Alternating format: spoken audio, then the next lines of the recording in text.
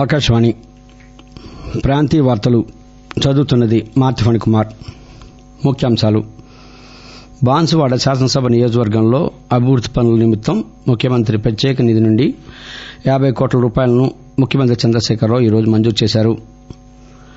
అమృత కాలంలో వేగవంతంగా అభివృద్ది చెందుతున్న భారతదేశం పట్టణ ప్రణాళికపై దృష్టి సారించాల్సిన అవసరం ఉందని ప్రధానమంత్రి నరేంద్ర మోదీ ఉద్ఘాటించారు. యుక్త వయసులో ఉన్నవారు సైతం తరచూ గుండెపోటుకు గురై మృతి చెందుతున్న నేపథ్యంలో ప్రభుత్వం రాష్ట్రంలోని క్షేత్రస్థాయిలో పనిచేస్తున్న ఆరోగ్య కార్యకర్తలు ఫస్ట్ రెస్పాండర్స్కు ప్రత్యేక సిపిఆర్ శిక్షణ కార్యక్రమాన్ని ప్రారంభించింది. ఈ రోజు నుంచి వరంగల్ ఈరోజు వరంగల్ కాకతీయ వైద్య కళాశాల పీజీ విద్యార్థిని ప్రీతి ఆత్మహత్య తర్వాత యాంటీ రాగింగ్ కమిటీ సమావేశం నిర్వహించింది. వివరాలు. బాన్సువాడ శాసనసభ నియోజకవర్గంలో అభివృద్ది పనుల నిమిత్తం ముఖ్యమంత్రి ప్రత్యేక నిధి నుండి యాబై కోట్ల రూపాయలను ముఖ్యమంత్రి చంద్రశేఖరరావు ఈరోజు మంజూరు చేశారు.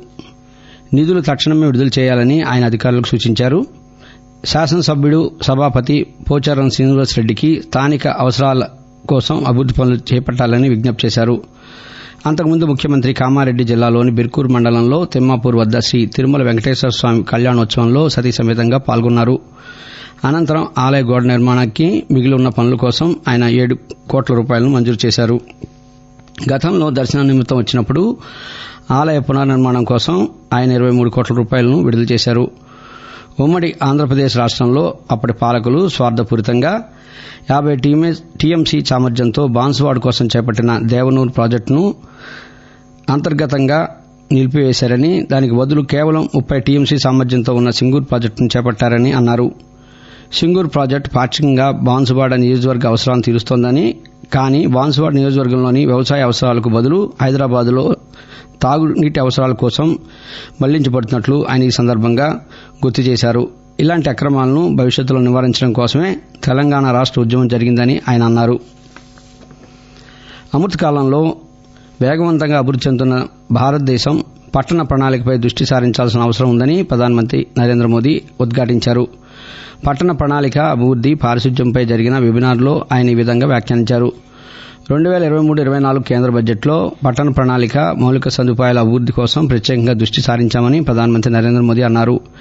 ఇరవై ఒకటో శతాబ్దంలో కొత్తగా అభివృద్ది చెందిన నగరాలు భారత్కు సరికొత్త గుర్తింపును తెస్తాయని మన దేశంలో పట్టణీకరణ వేగవంతంగా సాగుతోందని భవిష్యత్ అవసరాల కోసం మౌలిక సదుపాయాల నిర్మాణ అవసరం ఎంతైనా ఉందని ప్రధానమంత్రి అన్నారు.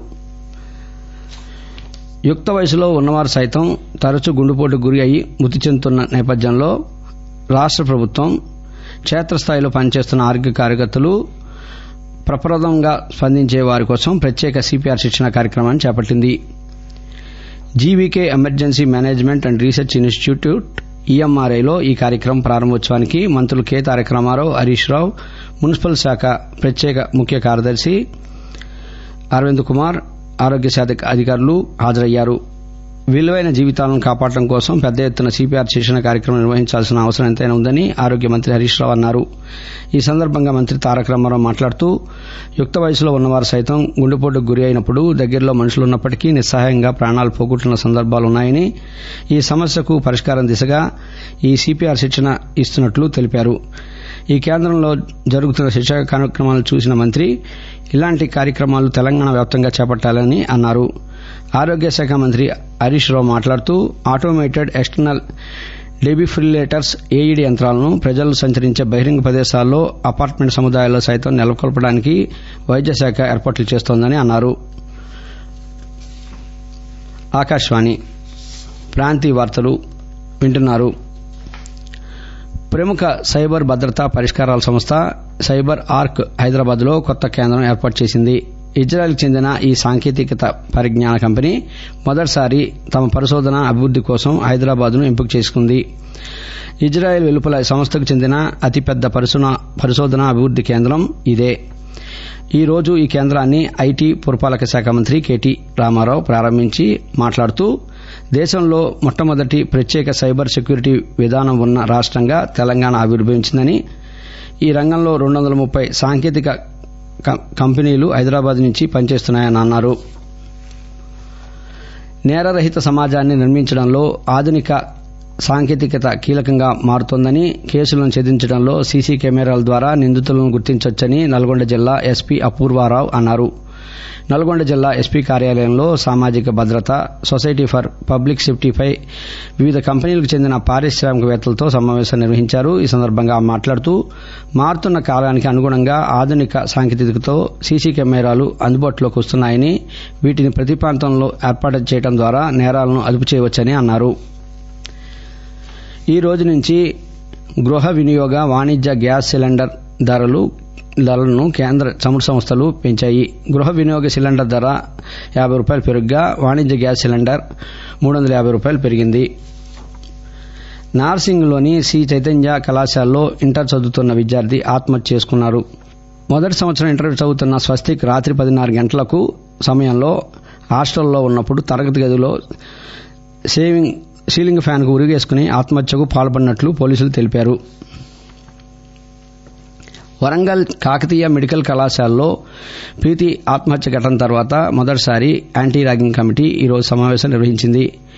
యాంటీ ర్యాగింగ్ కమిటీ పన్నెండు మంది సభ్యులు ఈ సమావేశానికి హాజరయ్యారు. ర్యాగింగ్ నిర్మూలనపై ఎలాంటి జాగ్రత్తలు పాటించాలన్న విషయాలపై విశ్లేషించి కేంద్ర ప్రభుత్వానికి నివేదిక సమర్పించనున్నారు. నిందితుడు సైఫ్పై నమోదైన కేసు కళాశాల ర్యాగింగ్ నిరోధకానికి నిరోధానికి తీసుకోవాల్సిన చర్యలపై ఈ సమావేశంలో చర్చించారు.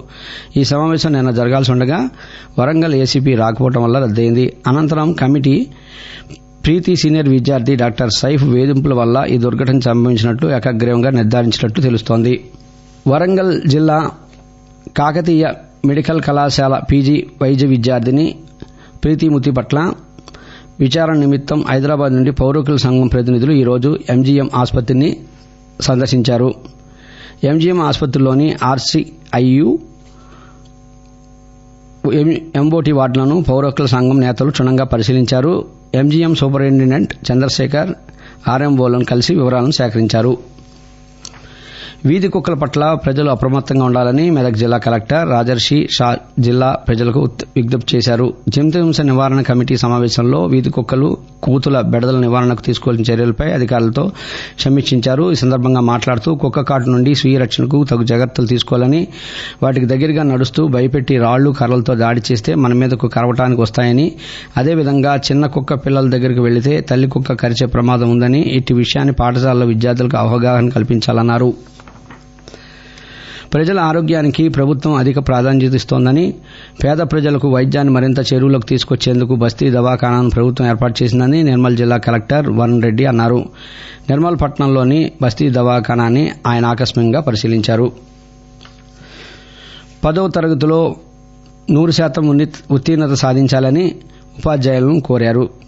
రాజన్న సిరిసిల్ల జిల్లా విద్యా అధికారి ఎలిమినేటర్ రమేష్ కుమార్ పదో తరగతిలో వంద శాతం ఉత్తీర్ణత సాధించాలని ఉపాధ్యాయులను కోరారు. వేములవాడ పట్టణంలోని బాలికల ఉన్నత పాఠశాలను ఆయన ఈరోజు సందర్శించారు. విద్యార్థులకు ఉపాధ్యాయులు పలు సూచనలు చేశారు. ఆకాశవాణి ముఖ్యాంశాలు మరొకసారి. బాన్సువాడ శాసనసభ నియోజకవర్గంలో అభివృద్ది పనుల నిమిత్తం ముఖ్యమంత్రి ప్రత్యేక నిధి నుండి యాభై కోట్ల రూపాయలను ముఖ్యమంత్రి చంద్రశేఖరరావు ఈరోజు మంజూరు చేశారు. అమృత కాలంలో వేగవంతంగా అభివృద్ది చెందుతున్న భారతదేశం పట్టణ ప్రణాళికపై దృష్టి సారించాల్సిన అవసరం ఉందని ప్రధానమంత్రి నరేంద్ర మోదీ ఉద్ఘాటించారు. యుక్త వయసులో ఉన్నవారు సైతం తరచూ గుండెపోటు గురై మృతి చెందుతున్న నేపథ్యంలో ప్రభుత్వం రాష్ట్రంలోని క్షేత్రస్థాయిలో పనిచేస్తున్న ఆరోగ్య కార్యకర్తలు ఫస్ట్ రెస్పాండర్స్కు ప్రత్యేక సిపిఆర్ శిక్షణ కార్యక్రమాన్ని ప్రారంభించింది.